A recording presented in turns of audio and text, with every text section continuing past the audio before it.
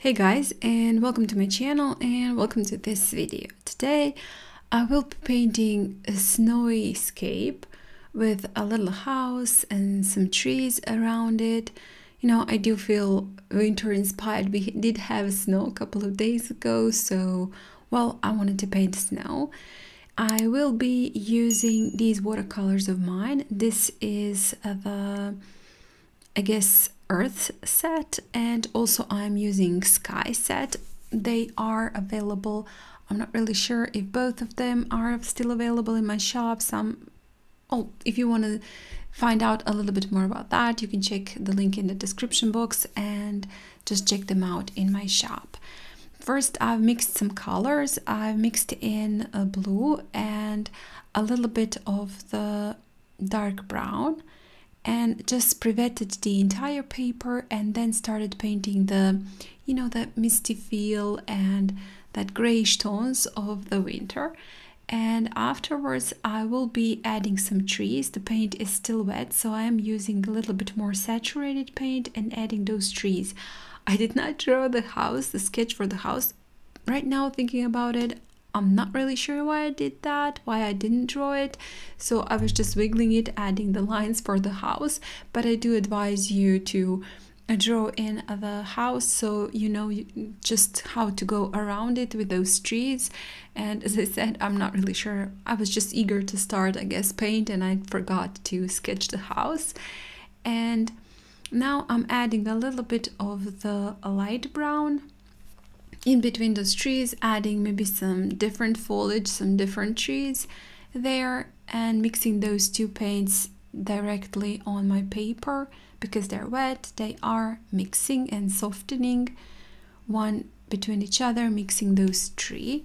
Also adding a little i don't know some road or something like that going to the house and a little bit more of the details and I am using today this is I believe Arches that I cut from the large sheet and I just glue it onto MDF board and I am using a single sheet of paper. I found those Arches papers. I guess I have them, those sheets, larger sheets for a while and I haven't used them because it's just easier to grab the block of paper and I did not use them. I was just cleaning up my studio and I found them and I thought to myself, well, I'm gonna do that. I'm gonna cut them and I'm gonna use those sheets. They are a little bit cheaper when you buy them in larger sheets than when you're buying them in blocks. So if you're thinking about buying a very quality paper, just consider that. You can just cut them in any size you like and I guess it's practical. And right now you can see when the paper is dry I'm just sketching in the house. I also did add a little bit of the splatters with just clean water to create a snowy feel. And for the house I'm using red. And you can see first I'm just painting in the entire house with the same color. And then adding a little bit more of the pigment here and there just to create some shadows and highlights on the house. I will also be using this a brown from the this is I believe from the autumn set.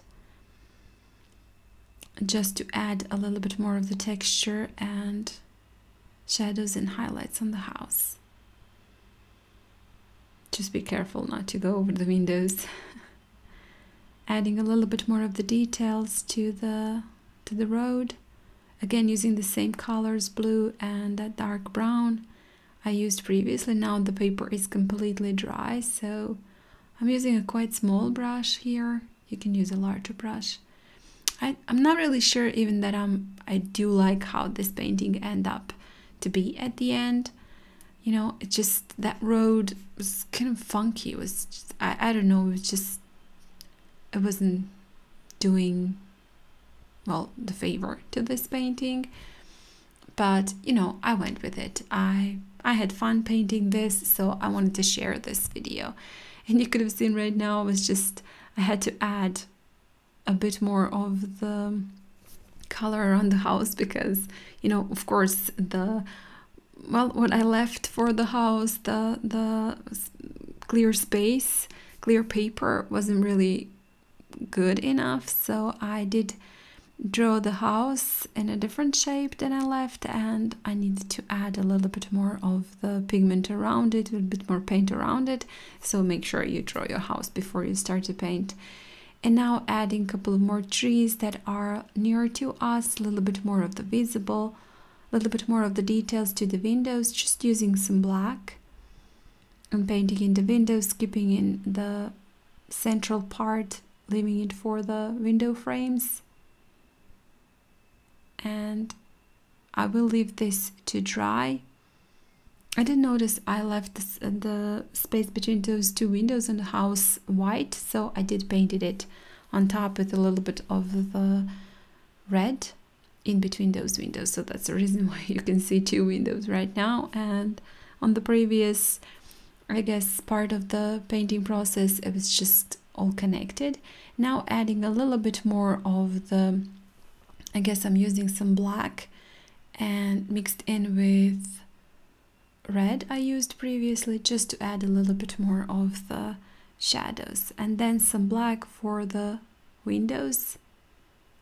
You know maybe the, those people traveled away for holidays so it's I guess there is no light in the house and a little bit more of the paint again to that road. As I said just it wasn't looking right. It's just somehow I'm not I wasn't happy with that. A little bit more of the trees and details on the sides. And I'm using this time very very small detail brush to add in those details and maybe some grass weeds peeking through the snow.